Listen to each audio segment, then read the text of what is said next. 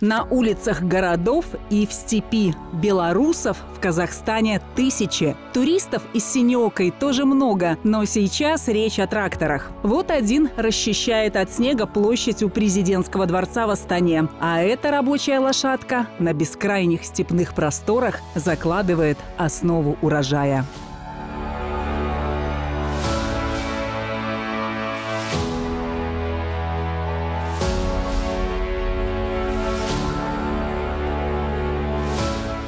Мы начали сеять пшеницу, 200 гектаров мы досеяли. Трактор показал очень хорошую производительность. Смену он делает 60 гектаров, а за сутки 120-130 гектаров. Белорусскую технику в Казахстане знают и любят еще с советских времен. И трактор «Беларус» по-прежнему хедлайнер продаж. В 2024-м здесь уже реализовали 4000 машин, и это 155% к уровню прошлого года. Рынок Казахстана традиционно занимает в экспорте в различные годы второе, третье место, достаточно емкий. Мы оцениваем его количестве более 5000 единиц. Техника «Беларусь» используется практически во всех областях э, народного хозяйства Казахстана. Это и сельское хозяйство, и жилищно-коммунальное, и строительно-дорожное. Э, Отзывы достаточно хорошие, техника МТЗ достаточно э, надежна по цене по критерию цена-качество не имеет аналогов на рынке Казахстана. Раньше тракторы доставляли в Казахстан в виде конструктора и собирали на одной из трех производственных площадок. В Кастанае пошли по пути локализации производства. С мая здесь сами изготавливают кабины. А это уже казахстанская составляющая. Объясню, почему она так важна. Правительством страны предусмотрены существенные налоговые льготы для местных производителей. Неплохие преференции и для покупателей такой техники. Предприятия, выпускающие технику в Казахстане, могут рассчитывать на поддержку государства в виде освобождения от уплаты утилизационного сбора, а также от уплаты НДС. Мощность новой линии до 10 тысяч кабин в год. Созданы новые рабочие места. Кастанай называют городом машин. Сегодня здесь собирают и изготавливают самую разнообразную технику. От легковых автомобилей до комбайнов. К слову, последние, родом из Беларуси, тоже хорошо знакомы азиатскому рынку. Казахстан в силу истории на момент распада Советского Союза не был э, настолько модернизирован в промышленности, как Беларусь. И поэтому вот сегодня белорусская сторона помогает во многом восполнить э, тот необходимый потенциал, который нужен Казахстану именно в области сельхозтехники, в первую очередь, для сельского хозяйства. Великий Батыр степи на белорусском комбайне. Золото бескрайних полей в Казахстане убирают машины, созданные в тесном партнерстве двух стран. Рынок Казахстана очень привлекателен для производителей. Сельское хозяйство здесь обладает значительным, но недостаточным парком машин.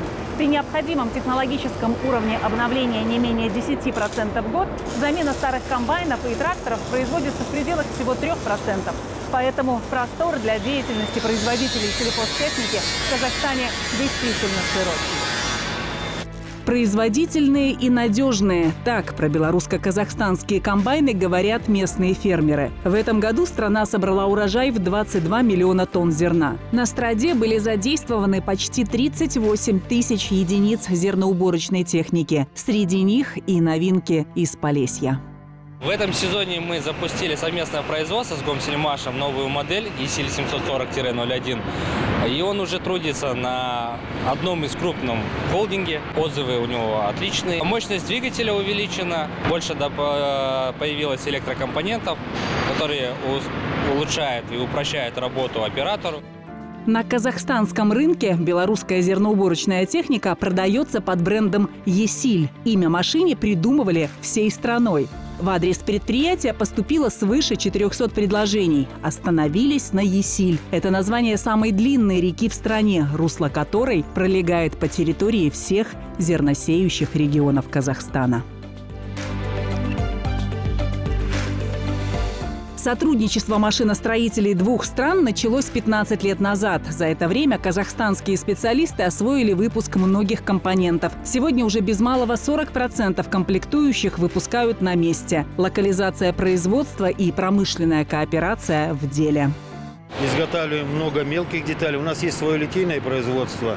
Это э, детали, которые отливаются, обрабатываются, механическая обработка. Изготавливаем трапы, лестницы, э, оперение, множество деталей мелких. По объему белорусского экспорта Казахстан входит в десятку основных торговых партнеров Беларуси и является вторым среди стран СНГ. Вскоре в двух столицах будут реализованы масштабные имиджевые проекты. В Астане появится белорусский квартал, а в Минске – казахстанский. К слову, продажа белорусских строительных материалов также в топе экспортных позиций на азиатском рынке. Этот квартал должен в том числе стилистически отображать белорусскую культуру, казахстанскую культуру. В следующем году, наверное, уже начнется строительство. Причем кварталы будут не маленькие, это высотные жилые дома э, и, и порядка 40 тысяч квадратных метров в Минске, порядка 54 э, тысяч квадратных метров в Астане. И, конечно, в белорусском квартале в Астане обязательно будет магазин с нашими товарами. В этом году Казахстан в полтора раза увеличил импорт мяса. Больше стали завозить и нашей молочки. Мы вообще берем пармезан. Сын у меня любит, например, с лисичками. Младший он голландский, потому что он плавится. За продуктами из Беларуси покупатели идут в одноименную торговую сеть. Белорусские продукты номер один работает уже 7 лет и объединяет почти 170 магазинов по всей стране. Ежедневно 20 фур с белорусскими сырами, колбасами и молоком берут курс на Казахстан. Поставки каждую неделю. То есть каждую неделю к нам заходит машина со свежей, вкусной продукцией. Машины оборудованы холодильниками, специальным холодильным оборудованием, выдержана определенная температура, как положено. Приемка осуществляется, как положено, по стандартам санитарной эпидемиологической станции. С белорусскими производителями ритейлер работает напрямую. Контакты налажены с полусотней компаний. Начинали исключительно с продуктовой линейки. Теперь появился островок с белорусской химией. В планах продавать и домашний текстиль. Увеличить представленность белорусской продукции на рынке Казахстана при определенных условиях возможно как минимум на 200-300%. Беларусь вообще стала в Казахстане трендом. А, потому что люди знают, что это качество, это нормальная доступная цена, что там нет никаких там добавлений. То, что если написано, а, то там это лежит. А, то, что ваше правительство следит за качеством и, ну, в общем, продукция идеальная. Я не бывала в Беларуси. Я вот только два года, как, э, допустим, начала вот этот вот э, кушать товар, и прям начала интересоваться вообще и Белоруссией, смотрю в ТикТоке, и, конечно же, когда-нибудь хочу съездить туда. Вот такая вкусная дипломатия. Если в цифрах, то на протяжении последних трех лет взаимный товарооборот между Белоруссией и Казахстаном превышает миллиард долларов. Страны планируют выйти на рубеж в полтора миллиарда. Ольга Масловская, Максим Смыков, СТВ, «Неделя, Казахстан».